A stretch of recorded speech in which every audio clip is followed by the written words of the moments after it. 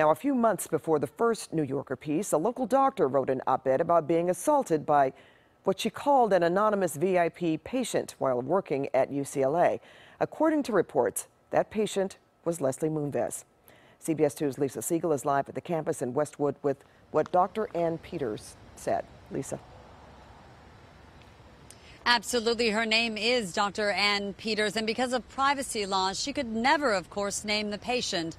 But in May, she wrote an article and told her side of the story. Dr. Anne Peters says in 1999 she was asked to see a VIP patient early in the morning before regular business hours. She says after the initial consult, he pulled himself against me and tried to force himself on me.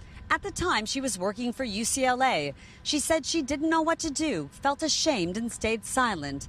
I was supposed to be offering extra special service to this man because he was rich and powerful and good for my institution. She says the next day the patient called to apologize, saying he had a terrible problem.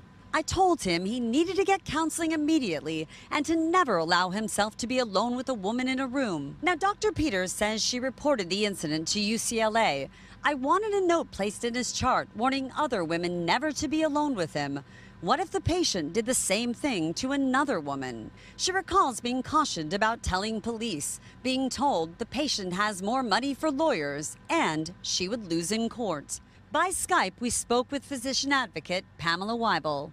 Taken an oath that often we're ending up having to protect other people over protecting ourselves and our colleagues. Until now, the name of the patient has remained a mystery. But in a new article in Vanity Fair, a source familiar with the situation says that patient is Les Moonves.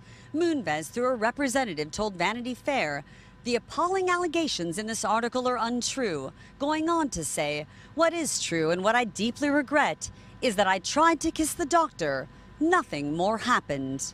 Dr. Peters is no longer with UCLA, but with USC's Keck School of Medicine.